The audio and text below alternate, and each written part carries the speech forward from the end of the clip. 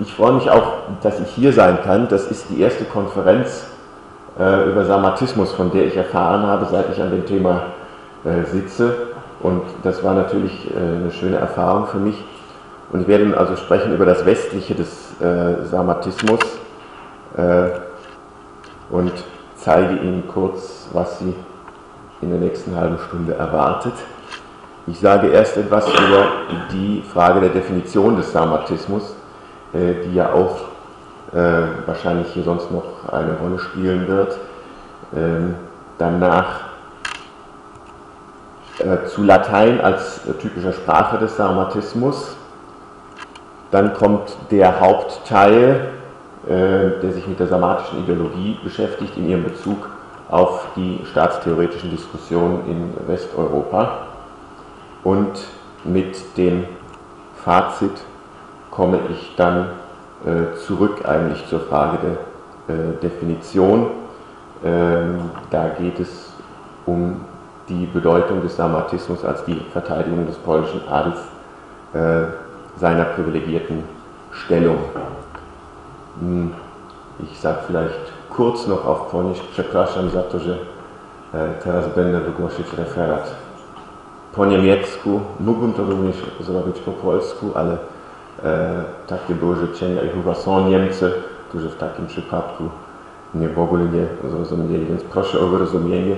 Potem pytania będzie można stawiać również po polsku i będę mógł odpowiadać e, po polsku. Jeżeli są dalsze pytania, to e, może e, podczas przerwy, albo dzisiaj wieczorem e, w hotelu e, możemy się jeszcze o tym dogadać.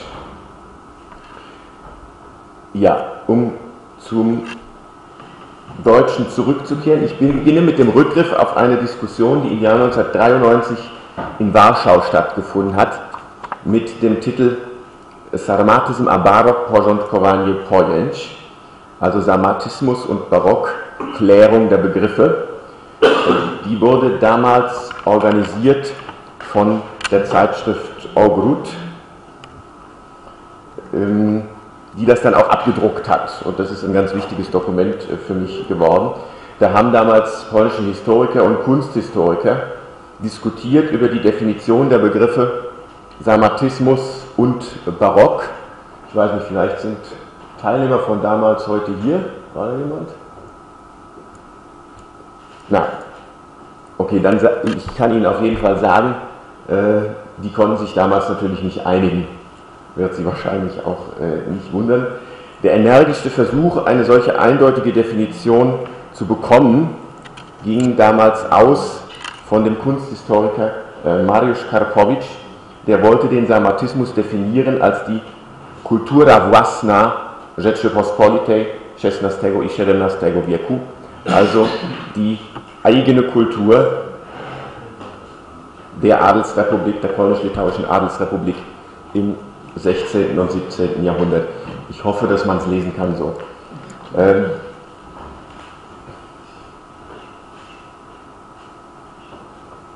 mit Kultur, was ist mit Kultur gemeint? Äh, Karpowitsch hat das damals ein bisschen präzisiert.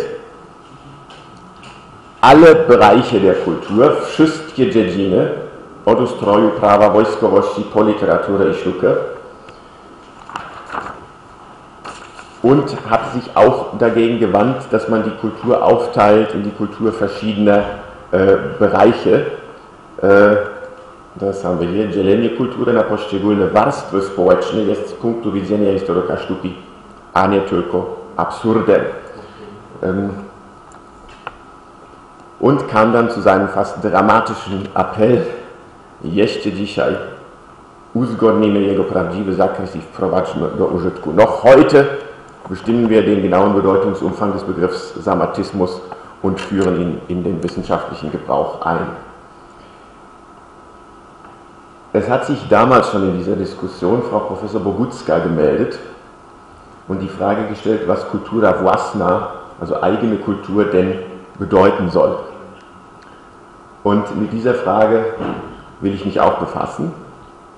Und ich stelle zu diesem Zweck äh, dem Zitat von Karpowitsch gegenüber, die erste Erwähnung des Wortes Sarmatismus von 1765 aus dem Monitor aus einer Aufklärungszeitschrift, die gerade im Jahr 1765 zu erscheinen begann, äh, aus dem, auf Anregung des äh, neu gewählten, damals neu gewählten polnischen Königs Stanisław August Poniatowski.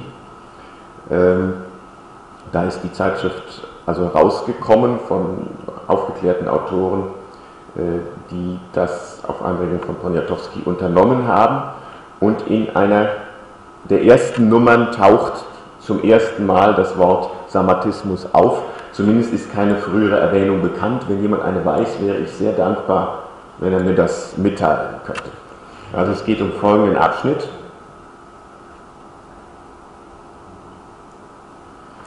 Und ich werde den jetzt in einer deutschen Übersetzung vorlesen. Wer Polnisch kann, kann das dann äh, im Originaltext da oben mitlesen. In der polnischen Nation wird es eine ewige und wahrlich verdiente Dankbarkeit für die geben, die das Joch von Vorurteil und träger Unwissenheit abgeworfen und es gewagt haben, gegen den, um es sozusagen Götzen des Sarmatismus vorzugehen. Also hier haben wir das Wort gegen den Götzen des Sarmatismus vorzugehen, der unsere Nation seit 200 Jahren zum Gespött der Gebildeten gemacht hat. Portalupi, Konarski, Uskina, das sind also polnische Aufklärungsautoren, haben das Eis gebrochen. Der Stil ist schon ein ganz anderer. Die ständigen Anspielungen auf die Wappen kommen aus der Mode. Es blüht nun nicht mehr nur das Latein, sondern auch die polnische Sprache. Kaum noch jemand fürchtet sich vor Kometen und die Sonne steht endlich auch im Zentrum der polnischen Welt. Hier wird nun eigentlich keine klare Definition von Sarmatismus gegeben sondern es werden nur ein paar markante Eigenschaften genannt. Der Autor rechnet offensichtlich damit, dass die Leser dann schon verstehen werden, was er meint. Und äh, wir wollen das jetzt mal ein bisschen genauer betrachten und das mal vergleichen mit der Definition, die Karkowitsch vorgeschlagen hat. Es handelt sich, genauso wie bei Karkowitsch hier beim Samatismus, um eine spezifisch polnische Erscheinung. Aber es gibt sie nicht nur im 16. und 17. Jahrhundert, wie Karkowitsch gesagt hatte, sondern es gibt sie am Ende des 18. Jahrhunderts immer noch in der eigenen Zeit, also äh, 1765. Und sie bildet ganz offensichtlich auch nicht das Gesamt der polnischen Kultur, sondern sie ist eine bestimmte Art von Rückständigkeit, von antiaufklärerischer Haltung, die gerade für Polen typisch ist. Äh, beziehungsweise vielleicht auch nicht für alle Polen, denn die Träger dieser Haltung sind ganz offensichtlich speziell Adlige. Äh, hier ist nämlich von Wappen die Rede, Ustawne Alusie do Herbów. Ähm, und nur Adlige tragen ja Wappen.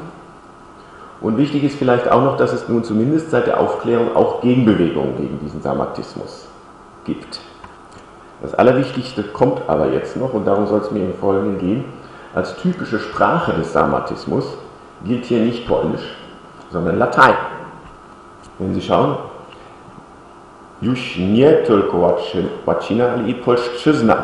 Nicht nur das Latein blüht, nicht, nicht nur das Latein blüht, sondern nun auch das Polnische. Das heißt, der neuere, sich verbreitende Gebrauch des Polnischen gilt als ein Zeichen der Abkehr vom Sarmatismus. Äh, nebenbei bemerkt, das zeigt auch, dass äh, unter Sarmatismus nicht einfach die Theorie von der Abstammung der Polen oder des polnischen Adels vom antiken Volk der Sarmaten zu verstehen ist, äh, wie es manchmal äh, verstanden wird, äh, wie es eben ein bisschen bei meinem Vorgänger angeklungen ist. Äh, der Sarmaten-Mythos äh, ist in der polnischen Geschichtsschreibung der Frühneuzeit ja immer gerade in bewusster Abgrenzung von den Römern äh, konstruiert worden. Ähm, also wir hatten die Zitate von Ovid, der eben sagte, am Schwarzen Meer interessiert man sich nicht für Italien. Ähm, und hier gilt nun plötzlich Latein als die Sprache des äh, Sarmatismus und nicht nur hier. Es gibt die berühmte Komödie Sarmatism von Franciszek Zaborski, die manche vielleicht kennen, ist in der Bibliotheka Narodowa als Einzelband äh, rausgekommen.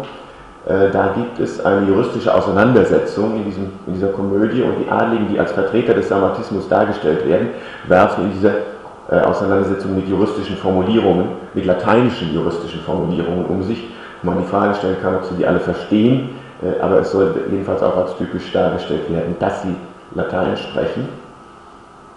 Und ja, damit komme ich zu meiner eigentlichen Fragestellung. Hier, warum gilt Latein als die Sprache des Sarmatismus? Äh, wir diskutieren hier ja während unserer Konferenz vor allem über die Beziehung des Sarmatismus zum Orient. Und das mag im Bereich der Kultur des Sarmatismus auch zutreffen. Es ist ja verbreitet im Zusammenhang mit dem Sarmatismus die Rede von der sarmatischen Kultur und von äh, der sarmatischen Ideologie. Wir haben hier den Titel des meiner Ansicht nach immer noch bedeutendsten Aufsatzes über Sarmatismus vom Krakauer Historiker Zinarski, der leider verstorben ist, den ich nicht mehr kennengelernt habe. Äh, Sarmatism Ideologia Istologica, also Sarmatismus, Ideologie und Lebensstil.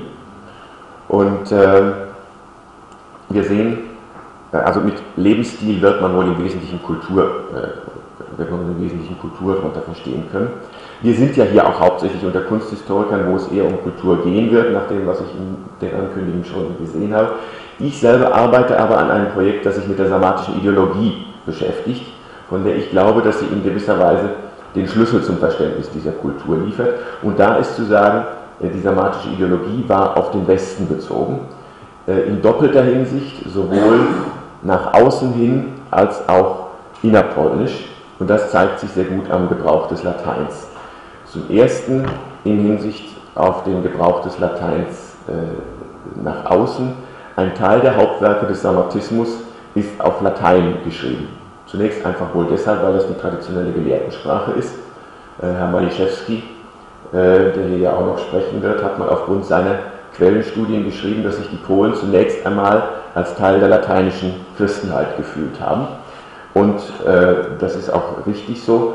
Und das bedeutet wiederum, dass Latein auch die Sprache der Bildung in Polen gewesen ist und dass sich die polnischen Humanisten als Teil der westeuropäischen Kommunikationsgemeinschaft der Gelehrten verstanden haben.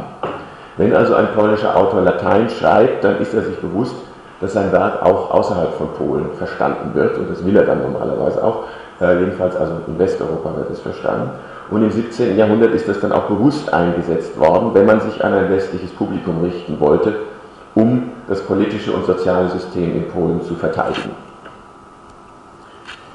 Äh, es gibt mehrere Werke, es, äh, die beiden bekanntesten sind wohl von Szymon Starowolski, das haben wir hier, und Łukasz, äh, das zweite ist von Łukasz Opalinski. Die schreiben Verteidigungen des politischen und sozialen Systems Polen gegen Kritiker aus Westeuropa und das tun sie dann auf Latein. Wir haben also hier Starowolskis Deklamatio contra, contra Poloniae und hier die Polonia Defensa von Łukasz Opalinski, wobei man dazu sagen kann, dass diese selben Leute, Starowolski und Opalinski, auch Werke geschrieben haben, wo sie die Zustände in Polen heftig kritisiert haben was eine äh, sehr typische Sache ist äh, für den Sarmatismus, dass man äh, teilweise das System, dass man das System erbittert verteidigt, aber es gleichzeitig auch massiv kritisieren kann. Nur diese kritischen Werke sind auf Polnisch geschrieben und also eher für den innerpolnischen Gebrauch bestimmt, das sollen Ausländer nicht so mitkriegen. Das ist also die Bedeutung des Lateins in Beziehung nach außen, jetzt äh, in Beziehung nach innen. Äh, da zeigt sich die Bezogenheit des Sarmatismus auf äh, den Westen auch am Gebrauch des Lateins. Viele äh, polnische Werke des Sarmatismus sind versetzt mit lateinischen Einsprengseln, mit den berühmten Makaronismen, äh, die offensichtlich wenig damit zu tun haben, dass man bestimmte Dinge auf Polnisch nicht ausdrücken kann. Denn äh, in der, der, Literatur der Renaissance, wenn Sie Kochanowski anschauen, äh, sind die Makaronismen noch wesentlich seltener und die häufen sich erst äh, im Barock. Das Latein dringt eigentlich mit dem 17. Jahrhundert erst wieder vor. Es geht hier vor offensichtlich darum, äh, dass die Schlachter ihre Bildung zur Schau stellen will.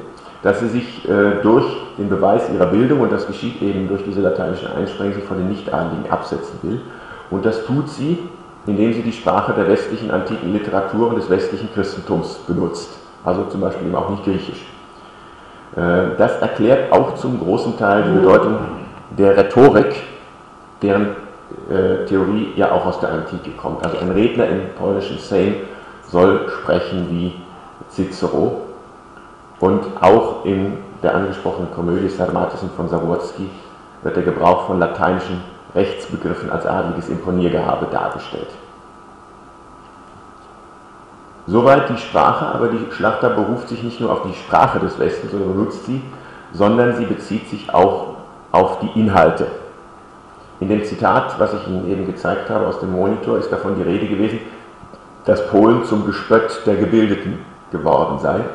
Und das sind natürlich nicht die Gebildeten in Russland und dem Osmanischen Reich, sondern das ist die aufgeklärte Gesellschaft in Westeuropa. Und noch nicht einmal nur die aufgeklärte Gesellschaft, denn es heißt ja da, dass Polen schon seit 200 Jahren das Gespött äh, der Gebildeten sei, als es auch im Westen noch gar keine Aufklärung gab. Äh, man sieht hier also gut die Maßstäbe, an denen Bildung in Polen schon äh, seit langem äh, gemessen wird.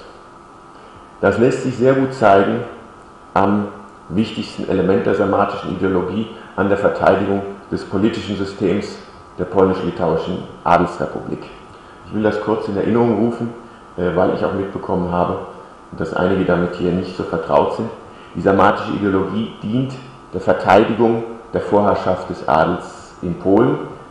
Sie richtet sich gegen die Kritik, äh, die während der gesamten Zeit der Existenz der Adelsrepublik, also vom 16. bis 18. Jahrhundert, vorgebracht worden ist, gegen die Verhältnisse in Polen und insbesondere gegen das politische System. Diese Kritiker haben schon seit dem 16. Jahrhundert eine besondere Schwäche dieses Staates äh, konstatiert. Man hat also kritisiert die Anarchie und äh, die Schwäche der staatlichen Zentralgewalt. Es lag ja die politische Macht in den Händen des Adels, der allein das Parlament beschickt hat. Und dieses Parlament erwies sich als immer weniger handlungsfähig. Es gab eine Entwicklung zu Entscheidungen im Konsens und dann das berühmte Liberum Veto, also das Einstimmigkeitsprinzip äh, im Reichstag, das dann im 18. Jahrhundert praktisch alle Reichstage äh, oder alle politischen Entscheidungen der Reichstage zum Erliegen gebracht hat. Dazu kann der Adel Konföderationen bilden, die äh, Widerstand gegen die äh, Staatsgewalt, also gegen den König und eventuell seine Beamten leisten und sich auch an deren Stelle setzen können. Und durch diese Dinge vor allen Dingen ist es in Polen nicht zum Aufbau, Ausbau einer staatlichen Zentralgewalt gekommen, einer starken staatlichen Zentralgewalt wie in vielen anderen europäischen Ländern der Zeit.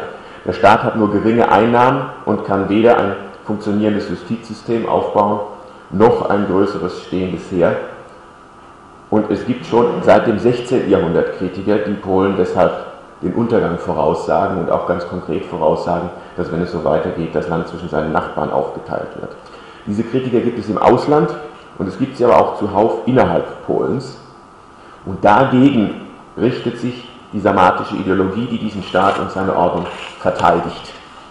Und das geschieht, das tut sie mit dem Arsenal der westlichen Bildungstradition. Da ist zunächst das Christentum. Das zeigt sich zum Beispiel darin, dass die drei Sejmstände, der König, der Senat, die Landbotenkammer, mit den Personen der heiligen Dreifaltigkeit verglichen werden. Also der König ist Gott Vater, die Landbotenkammer äh, der Sohn und der Senat, der zwischen beiden vermittelt, der Heilige Geist. Es gibt tatsächlich solche Aussagen in den Quellen. Aber das Christentum muss vielleicht noch nicht mal typisch westlich sein. Es gibt ja auch Christentum östlich von Polen. Typischer für den Bezug auf den Westen ist noch die Heranziehung der antiken Staatstheorie. Äh, das polnische System wird gesehen als eine Verkörperung des antiken Ideals einer gemischten Verfassung. Das heißt, der König verkörpert die Monarchie, der Senat, wo die Bischöfe und die Inhaber der Staatsämter sitzen, die Aristokratie und die Landbotenkammer, wo die Landtage des Adels ihre Vertreter hinschicken, das soll die Demokratie sein. Das heißt, da muss man sich klar machen, die Gesamtheit des Adels wird als das Volk verstanden, eben auch äh, sehr häufig als die alleinigen Nachkommen der Sarmaten, was sehr typisch für Polen ist. Es gibt Autoren, die sich auch dafür ausdrücklich auf die Antike berufen und dann sagen, dass es in Rom und Athen ja auch Sklaven gegeben hätte, die gar keine politischen Rechte haben. Und deshalb brauchten auch Stadtbürger und Bauern in Polen keine politischen Rechte zu haben. Das wichtigste Vorbild für das System in Polen ist vor allem die Römische Republik, oder zumindest wird es als solche ausgegeben. Äh, die erste Kammer des Sejms heißt wie in Rom Senat. Jan Samoyski, von dem wir, denke ich, in den nächsten Tagen hier in Samosch noch einiges hören werden, hat während seiner Studienzeit in Padua ein Buch geschrieben über den römischen Senat und da Vergleiche mit den Verhältnissen in Polen gezogen. Auch die Landbotenkammer wird in den Quellen gelegentlich als Comitia Generalia bezeichnet, also mit den römischen Volksversammlungen verglichen. Sie wird manchmal auch verglichen mit dem Kollegium der Volkstribunen in Rom. Das wird dann auch zu einer der wichtigsten Begründungen für das Liberum Veto, denn die Volkstribunen in Rom haben auch Vetorecht gehabt und man sagt, es entspricht also äh, dem Vetorecht der Volkstribunen in Rom. Während die Reformer in Polen dann gerne darauf hinweisen, dass es ja gerade die übergroße Macht der Volkstribunen gewesen sei, die schließlich das Römische Reich in den Ruin geführt hätte. Die Römische Republik gilt oft auch als das einzige Vorbild der Rzeczpospolita. Wir werden ja gleich von Herrn Schneider-Heinz noch einen Vortrag über die Frage der Einzigartigkeit der Adelsrepublik hören. Äh, oft vergleicht man die Republik nur mit der Römischen Republik. Wenn die Sarmatisten aber Polen mit Republiken in ihrer eigenen Zeit vergleichen, dann sind das immer Republiken aus Westeuropa. Also mit Vorliebe wird Polen verglichen mit der äh, Republik Venedig, aber auch mit Genua und dann auch mit Holland und der Schweiz. Wobei diese beiden letzteren äh, schon problematisch sind. Äh, zum einen weil sie protestantisch sind und zum anderen, weil in ihnen, anders als in Venedig oder Genua, auch nicht nur adlige politische Rechte haben. Ansonsten gelten aber die Staaten in Westeuropa vor allen Dingen als abschreckendes Beispiel. Als abschreckendes Beispiel für das Absolutum Dominium, das ist der Gegenbegriff der polnischen Freiheit. Das ist die große Opposition der sarmatischen Ideologie.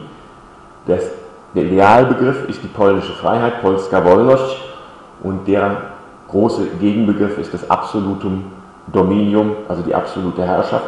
Wobei dieser Begriff Absolutum Dominium eine polnische Spezialität zu sein scheint, taucht in dieser Form außerhalb Polens kaum auf. Und ich kann hier sagen, dass ich mittlerweile auch den Verdacht habe, dass das Wort Absolutismus zuerst äh, in Polen entstanden ist. Äh, normalerweise heißt es immer in der Literatur, das Wort sei in der Französischen Revolution entstanden, aber ich habe Quellenbelege gefunden äh, aus wesentlich früherer Zeit im 18. Jahrhundert, wo das Wort Absolutismus in polnischen Quellen auftaucht. Ich werde das vielleicht noch irgendwann mal ausarbeiten.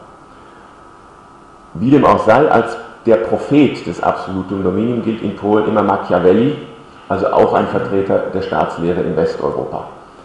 Und wenn polnische Autoren die polnische Ordnung gegen Kritik aus dem Ausland verteidigen und dabei die Theorien des Sarmatismus entwickeln, dann tun sie das immer gerichtet gegen Kritiker aus dem Westen. Ich habe Ihnen die beiden Titel gezeigt. Opalinski tut das gegen John Barclay, einen Engländer. Starowolski wendet sich gegen Lansius, das ist ein deutscher Autor. Mehrere Autoren haben gegen Hermann Konring äh, geschrieben, einen deutschen Staatsrechtler, der in schwedischen Diensten stand und während der schwedischen Invasion äh, in der Mitte des 17. Jahrhunderts äh, der erste war, der dem polnischen Staat das Existenzrecht abgesprochen hat. Ich komme zum nächsten Thema. Ein sehr guter Beleg für die Beziehung des Sarmatismus auf den Westen ist die Kleidung des polnischen Adels, die sich von der Kleidung von Adligen im Westen stark unterscheidet. Äh, manche werden das vor sich haben, es kommt gleich auch noch ein Bild. Und es heißt da ja immer, äh, diese Kleidung sei an östliche Vorbilder angelegt, an ungarische oder türkische, wir werden da wohl noch was drüber hören. Die Begründung, die dafür in der Literatur heute gegeben wird, ist normalerweise, niemand wäre auf die Idee gekommen, dass die Schlachter politische Modelle von den Türken oder von den Russen übernommen hätte. Aber vom Adel im Westen hätte man sich eben ausdrücklich absetzen müssen. Und es lässt sich zeigen, dass diese langen Kleider auch erst aufgekommen sind am Ende des 16. Jahrhunderts, also in der Zeit, als die sarmatische Ideologie und der Sarmatismus überhaupt äh, erst entstanden sind Vorher war die Kleidung der Schlachter auch eher an westlichen Vorbildern orientiert. Nur hat man das in Polen selber mit den östlichen Vorbildern damals gar nicht so eindeutig gesehen. Es gibt entsprechende Quellenbelege. Ich zeige Ihnen diesen hier von Jan Białobocki. Äh, der diskutiert hier, wo die Polen herstammen würden. Das ist ungefähr diese Passage. Äh, woran man das erkennen könne. Und er selbst neigt zu einer Herkunft aus dem Osten, Jakote, Tureniewas, Krajów Słońca Wschodnich, tak szat zwierzchnych przybiera, tak zażywa spodnich. Also solche Oberkleider benutzen die Polen und solche Hosen. Kocherchef koniu stamtąd, ihren Stunku wielkim, also die Pferde kommen von dort, die Rüstungen kommen von dort. So może być poniekąd argumentem, argumentem wszelkim, że z tamtych krajów wschodnich przyszli tu przodkowie, w czym różne zdania dają swe historykowie. Also das kann man als Argument dafür werten, dass die Polen tatsächlich aus dem Osten gekommen sind, die Vorfahren der Polen, worüber die Historiker heute unterschiedliche Meinungen angeben. Aber es gibt auch noch eine andere Theorie und die vertritt André Maximilian Fredro, einer der wichtigsten Vertreter der samatischen Ideologie. Äh, der verteidigt sich hier gegen den von außen vorgebrachten Vorwurf, die langen Kleider des polnischen Adels seien barbarisch. Jetzt, ja, ich habe gehofft, dass die meisten Latein können. Ähm ich zeige es Ihnen gerade hier, also es geht um diese Stelle hier erstmal. Äh, Vestitus nobis Polonis est non ad eum modum quali nunc utunte occidentalis europeorum populis et proprius normam vagudum antiquus orbus, orbis utebatur. Also unsere polnische Kleidung entspricht nicht dem, was heute die Völker Westeuropas tragen, sondern entspricht eher der Norm, die früher die Antike gebraucht hat. Und das zeigen klar die Historiker, äh, die äh, alten Münzen, die Bilder. Und man kann auch das, äh, die Kleider, die heute die Gallier und Germanen, also die Franzosen und Deutschen tragen, nicht wirklich christlich nennen und auch unsere nicht barbarisch, sondern hier haben das Eque nostra talaris ad gravitatem togae composita. Also unsere langen Kleider sind äh, gestaltet nach der Gravität der römischen, muss man da natürlich ergänzen, Toga und das eher als die kurzen Kleider der Westler. Und deswegen äh, wird ein Pole sowohl als katholischer Christ wie als politischer Mensch dadurch äh, geschmückt und nicht entehrt. Ich habe das mal visualisiert.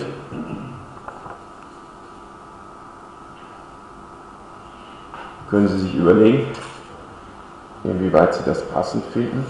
Es gibt dann noch eine ähnliche Äußerung von Szymon Starowolski aus der Rede gegen die Verleumder Polens.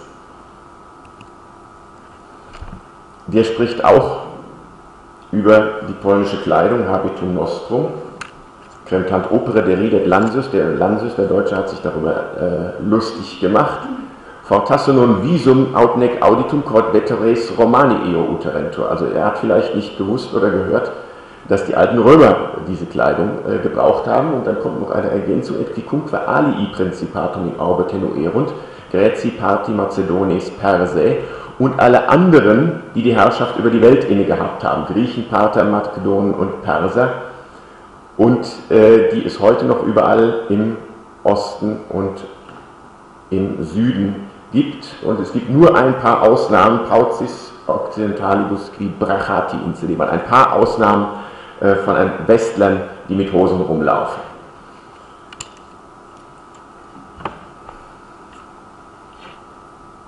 Also man setzt sich hier zwar äh, schon vom Westen ab, aber nur vom Gegenwärtigen, nicht vom Antiken, denn Rom hat ja auch äh, zum Westen gehört. Noch ein weiteres kurzes Zitat von Zbigniew Morsztyn, einem Dichter aus dem 17. Jahrhundert. Niech się i te narody bardzo nie kokoszą i nad sławę sarmatów sobie brody, wąsy jako mnisie golą, a na głowie ozdobę kobiet nosić wolą. Also die westlichen Nationen sollen sich äh, nicht über Polen lustig machen oder sich über den Ruhm der Sarmaten erheben, die ihre Bärte scheren wie die Mönche und auf dem Kopf einen Schmuck tragen wie Frauen. Also das sind die langen äh, Perücken äh, des Adels im Westen und Sie wissen ja, der polnische Adel ist in der Radikalgeschworen einhergegangen. Hier erkennt man die Wurzeln der Xenophobie des Sarmatismus, von der so oft die Rede ist. Aber die Xenophobie hatte ihre Grenzen. Noch einmal ein Zitat von Białobocki aus demselben Werk, eine Seite weiter. Da sagt er, wenn wir hier oben schauen, a w krajach zachodnich lub cięższej bywamy, jednak na okaz tylko stroje przynaszamy, raz weźmiem, wnet rzucim na opończe według pogody, ale niech tym rzecz zakończę. Also wir, wenn polnische Adlige im Westen sind, dann legen sie auch westliche Adelskleidung an, aber sie ziehen sie dann auch gleich wieder aus hinterher. Aber er sagt hier gleichzeitig dazu, wir sind eigentlich häufiger in den westlichen Ländern. Die Schlachter hat eigentlich viel mehr Kontakte mit dem Adel in Westeuropa und wenn polnische Adlige dorthin kommen, dann wollen sie als gleichberechtigte Adlige gegenüber den westlichen anerkannt werden und ziehen auch deren Kleider an. Aber genau deshalb fürchten sie auch deren Einfluss stärker und wenn sie wieder nach Polen kommen, dann ziehen sie die Kleider wieder aus. Es heißt jetzt hier weiter, die eigene Kleidung der Polen ist die östliche. Nie przypada żaden stroj lepiej Polakowi jako wschodni, bo własny. Mit einer Einschränkung, a zwłaszcza das gilt vor allen Dingen für Männer. Białogłowom zaś szary plużą od zachodu, w czym polskiego narodu. Die, Polisch, die Kleidung der polnischen Frauen richtet sich nach westlichem Muster. Ähm, und er sagt gleich dazu, das ist die Eigenart der polnischen Nation, dass sie sich dem Osten und dem Westen anpasst. Also hier nochmal, wczymsza ludzkość wyświadcza polskiego narodu, że na wschód i na stosuje. Man richtet sich also je nach Bedarf nach dem Westen oder nach dem Osten. Ich habe hier nochmal ein Bild, ich glaube aus dem 19. Jahrhundert, von der typischen polnischen Adelsdach, wo man die männliche und die weibliche Kleidung nochmal sehen kann. Vielleicht kennt jemand noch andere Quellen dazu, dann würde ich Sie bitten, mir das nochmal zu sagen. Ich komme zu meinem Fazit.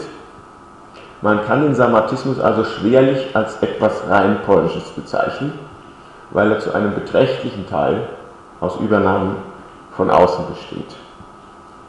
In der Ideologie mehr aus dem Westen, in der Kultur vielleicht stärker aus dem Osten. Aber auch wenn der Sarmatismus nicht das spezifisch Polnische ist, dann ist er doch etwas spezifisches Polnisches, nämlich genau in dieser Mischung von verschiedenen Elementen.